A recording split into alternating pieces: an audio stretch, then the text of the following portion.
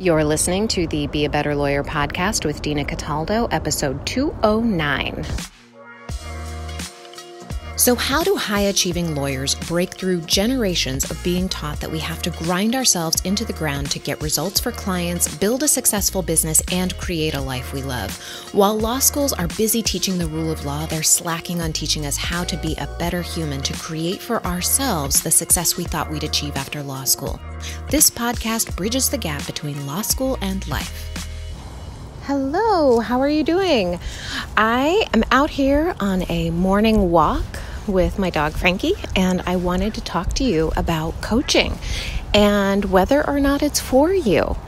Sometimes I'll get questions from people about whether or not it's something that they think that I think that they should do. And in my opinion, everyone should have a coach. But I wanted to talk to you about specifically if it works for you. So, this is something I was thinking about ahead of my master class, which is on Thursday, today, if you're listening to this on Thursday. And you can still sign up at dinacataldo.com forward slash evolution to get that master class. Um, so, this is where I fall on coaching, specifically for lawyers a lot of times lawyers will tell me like I should be able to figure it out on my own. And I will tell you that I thought that for a very long time. And then I got a coach and I was like, why did I wait so long for this? Um, but if you're thinking that you should be figuring out whatever it is that you're trying to figure out on your own, there's a few things that you can consider, and I will offer them to you here. So, first of all, coaching is for anyone who wants to better their lives. Like, you don't have to be in incredible pain like I was when I hired my first coach to hire a coach, right? If you want to better your life, coaching is amazing. So, imagine if your life right now, as amazing as it is, as successful as you are, as happy as you might be, Imagine that's only a seven out of a possible 10. What are you leaving on the table? Right? I think that is such a brilliant question to ask yourself. I got that from one of my coaches.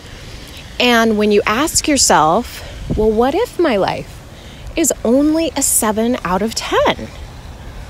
What changes for you? What might you start thinking about differently? Well, good morning, Crow. How are you?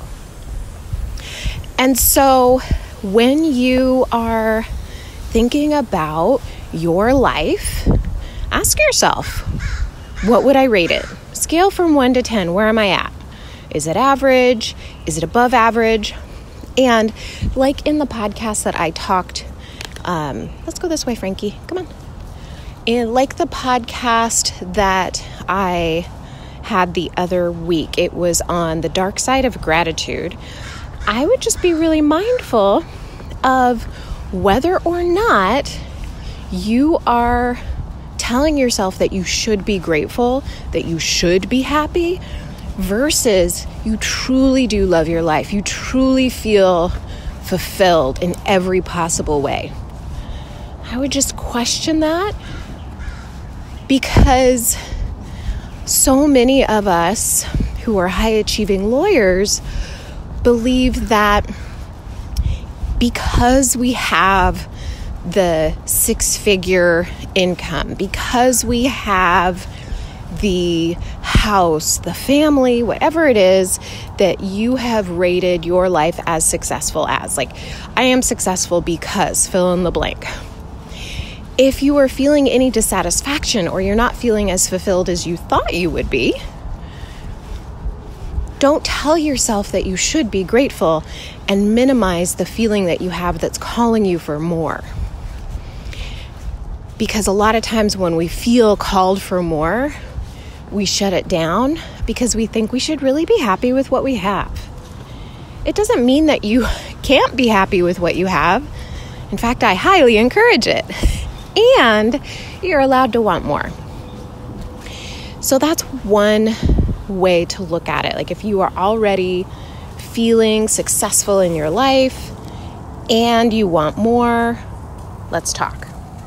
Another way to know whether coaching is for you is if you want to improve one area of your life, right? Like a lot of attorneys come to me for time management, right? Because they feel overwhelmed, they don't know like when they get to the office, they feel overwhelmed and anxious and they don't really know where to start. Their caseloads feel unmanageable, or they have assistants who aren't managing their time the way they want to. I help them create the boundaries that they need in order to create the efficiency they want in their practice. I help them learn how to use their calendars and follow through on the calendars so that they're actually getting done what they say they want to get done in a way that feels much easier and they feel much calmer about and they feel more confident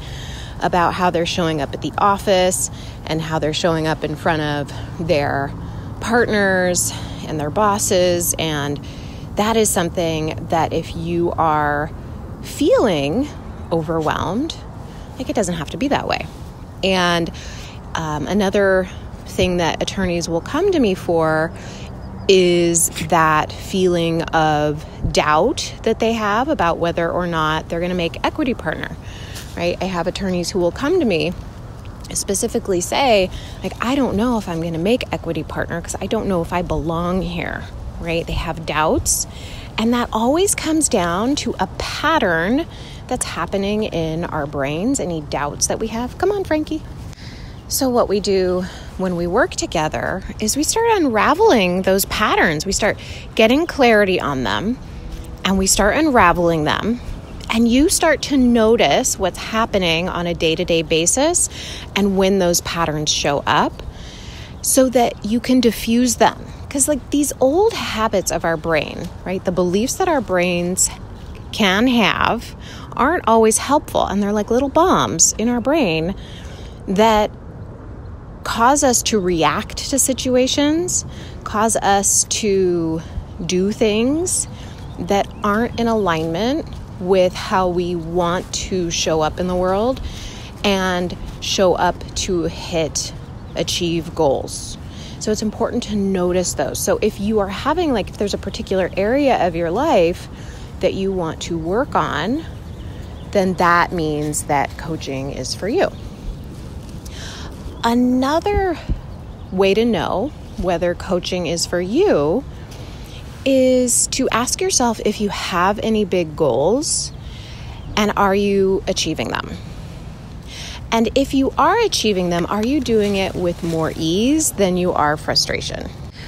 Because a lot of times we will create frustrations without knowing we're creating frustrations. and it's just because of the patterns that are going on in our head. We've become accustomed to thinking a certain way, to pressuring ourselves to achieve things. And when we do that, it doesn't mean that we're trying to make it hard on ourselves. It just means that there's a certain pattern of behavior that we've learned over time, and it's something we can unlearn. And I unlearned it, and I help my clients unlearn it.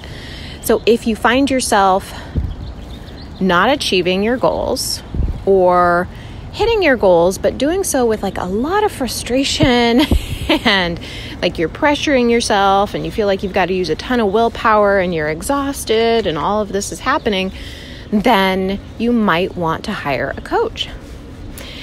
And one of the things that I've noticed with my clients when they are working towards goals is that they tend to punish themselves if they don't hit those goals. I talked a little bit about that in the podcast about um, creating your personal benefits package. So I highly encourage you to listen to that episode. And when we punish ourselves instead of reward ourselves in a way that feels really good, it will feed into the unhelpful habits, the unhelpful brain patterns that we have. So it's important to really notice what's going on in your business because it's not just the actions, right? Like everything that we do is fed by our thoughts and our feelings, right? Because our thoughts create our feelings, and our feelings then fuel the actions that we take. So if you're feeling a lot of pressure, it's coming from a pattern of thought that's creating that pressure, and it's probably leading you to some unhelpful actions that are not helping you create the ease when you are trying to hit your goal. I don't know if you can hear that. Like these birds are super happy. so, anyway, um, yeah, so if you are working towards a goal of any sort, that is definitely something that you may want to hire a coach to help you with. And when I help my clients, I help them see those patterns, right? So, one of the patterns of thought that I see, and I've seen it in myself too, it's just one that we all have, it comes up from time to time, is I can't, right? I just can't. And we don't question that thought.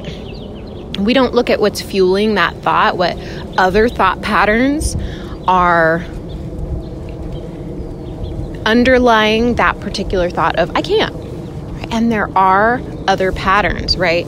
So, for instance, my client, Nancy, I've talked about this in the podcast before. Um, she had this underlying thought about hiring her assistant. She didn't think she could hire her full time. And there were a lot of reasons for that, right? Like she believed what her other managing partners were saying that she couldn't afford it because they had that same underlying thought I can't. You can't. It's not possible, right? We just think that. It's easy for our brain to think that. And she believed them. Her brain believed them. But she didn't question that thought. And so, one of the big benefits of coaching, right, is that there's somebody there to question your beliefs at all times, right? You're like, oh, why do you think that? Which is why, what I asked her. And she told me. And so I got really curious about that thought and I was like, okay, tell me more, tell me more. And when we got to the bottom of it, her brain was just believing them and not looking at the math of it, not looking at the practicalities of it. Because our brain isn't looking for practical, our brain is looking for easy. And it's a lot easier just to be like, I can't. Even though it felt horrible for her, right? Because she was very disappointed that she couldn't, like that her brain believed it. And so she felt disappointment ahead of time rather than going to problem solving mode. It is our default is not problem solving mode, okay? Like it, it, it takes some practice to get there. And I will tell you right now, our brain does not like problem solving mode because it takes a lot of energy and it's in the business of conserving energy. So, one of the benefits of having a coach is to watch your brain like a hawk when it is undercutting your ability to hit a goal, right? Because what she found out was that if she hired this assistant, not only would she be able to afford it, but she would be losing money if she did not hire that assistant. And if you're listening to this and you're telling yourself, well, that doesn't apply to me, I want you to ask yourself where the thought I can't, or I'm not going to be able to, or that's not possible, or there's some flavor of it's not going to work, it's not working, it's not going to happen, it's not happening. Is there some flavor of that thought anywhere in your life? I guarantee you it's there. You may not be able to see it, but I guarantee you it's somewhere in your life and it will pop up from time to time and it will prevent you from taking the actions that you want to take to hit whatever achievement you want to make. So just take a look for that.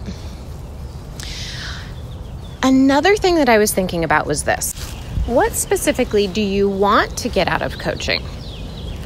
And I've seen a few different things. And I know why I go into coaching. So I will tell you why I go into coaching. I go into my coaching programs knowing that I am going to create the result. I never rely on my coach to get me the result because she's not out in the world doing my work, talking to my people. She's not doing that stuff, right? So, what I go into coaching with the mindset of is I am taking responsibility for all of my results.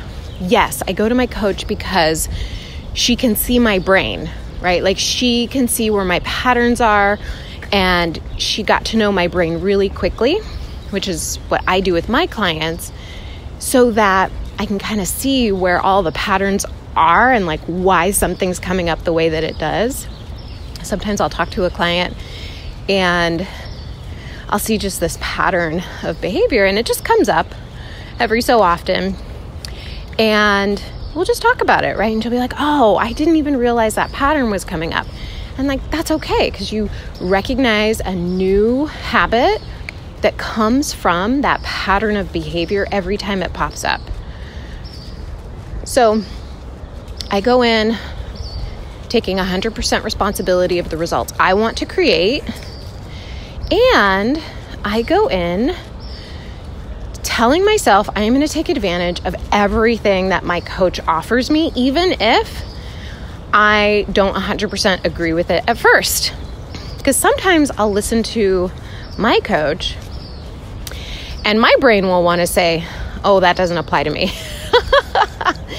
so I will remind myself, oh, wait, that's not the mindset. The mindset is, how does this apply to me? Where might this apply to my business? And sure enough, every time I do that, I get some nugget that helps me. And that's why it's so important to go into coaching knowing what you want because if you're relying on the coach to get you the result, you're going to be really disappointed because you've got to do the work, right? And that looks differently for everybody. Like some people come to the calls and they uh, they don't take any notes and they get what they came for for, and some people come and they take lots of notes and they get what they came for. It looks different for everybody. All right. Um, another thing I was talking about is like when you come to coaching, what is it that you want? What are you looking for? Because a lot of people get a benefit out of having somebody just there as an accountability coach. And I wouldn't hire me as an accountability coach just for that. Like, I'm a mindset coach, so I would be helping you with your patterns. But you get the benefit of having somebody to be accountable to if you want that, right? But if you're going into coaching just looking for somebody to kind of like check in with and be like, look, I did it, then might want to hire an accountability coach that's specifically for that. But working with me is more than that, right? Like we're talking about mindset work. We're talking about understanding your patterns of thought and the behaviors that come from them and starting to unwind those patterns so that you can create what you want in your life. And then another benefit is this I think about my coach as my partner in crime. I think about her that way because I always know she's on my side. She wants me to achieve the result that I want to get. She is there to help me get what I want, right? And when we take that into our sessions, it is so much easier to hear what is being said. Because when you get coached, sometimes it can feel a little triggering, right? And so it's important to recognize like those feelings are because of a thought that we're having and that there's something there to be investigated. It doesn't mean anything has gone wrong or something bad is happening. It's important just to recognize, oh, wait a minute, something's happening and I feel really uncomfortable right now. And because I have been coached so much, I feel really comfortable speaking up when I am uncomfortable and being able to say, okay, wait, there's something there. I may not know what it is yet. I may need to sit with it for a little while, but I'm noticing there's something there, and I don't know that I'm ready to be coached on it right now. but most of the time, like 99.99% of the time, I will show up and be like, okay, I'm totally coachable. But there is that 0.1% where something just like hits you so hard that you recognize like there's some stuff that needs to be dealt with. so just if you keep in mind that your coach is always on your side, then it's a lot easier to hear the hard stuff. And when I work with my clients, like I create that safety with them because we get to know each other. Sometimes we'll hit the hard stuff and I'll be like, okay, what's coming up for you? And that's why I do my Zoom sessions with video when at all possible, right? Like there's those rare times when internet connection doesn't work or something, but when you have that video, you can actually get a sense from just someone's face like, oh, I touched on something, let's check in. Right? So there's a lot of check in points to see, okay, what's happening, what's going on with you, what's coming up for you. And that's why when you go in with the knowledge that the coach is there for you to help you, it be, feels so much better, right? And those are the three things that came to mind why I go into coaching. Right? I love also having that partner in crime because there's not a lot of people I can talk to about my business. I'm not surrounded by a lot of entrepreneurs. And when you surround yourself with people who are like minded, high achieving people who are into a lot of the same stuff you are, it feels more comfortable, right? And you feel a little more free to express what's going on in your brain than you might at a cocktail party. so, like, those are some of the things, some of the reasons why I like to go into my coaching sessions how the mindset I go into my coaching sessions with. If this is speaking to you, if you're like, yes, coaching is for me, book a call with me. Go to dinacataldo.com forward slash strategy session and book a call.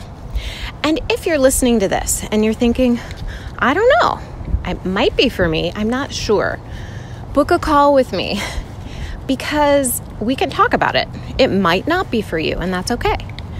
But if you book a strategy session, then you'll know for sure. All right, my friend, I hope that was beneficial for you. This has been a really lovely conversation that I've been able to have with you while I'm walking my dog and looking at these beautiful yards. So I hope you have a wonderful rest of your day, and I will talk to you soon. Bye.